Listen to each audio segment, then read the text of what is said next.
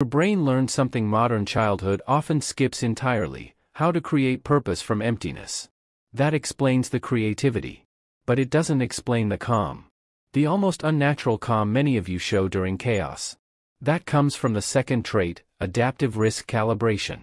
You climbed trees that were clearly too high. You rode bikes without helmets. You played rough, got hurt, and walked it off. Every scraped knee, every close call quietly trained your nervous system.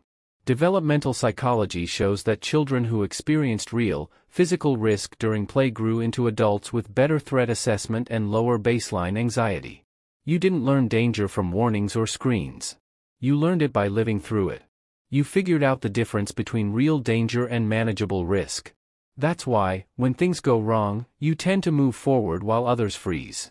But there's another layer most younger generations struggle to understand.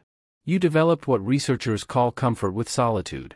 You spent long stretches alone, listening to music, lying in the grass, thinking, wandering. Not because you were lonely, but because nothing was constantly demanding your attention. No notifications. No endless feeds. Studies on pre-digital childhood show that people who grew up before constant connectivity experience less anxiety when alone with their thoughts. In fact, modern experiments show many people would rather endure mild discomfort than sit quietly for 15 minutes. That idea probably sounds absurd to you. You learned early that boredom isn't an emergency. Silence isn't something to escape. It's something to sit inside.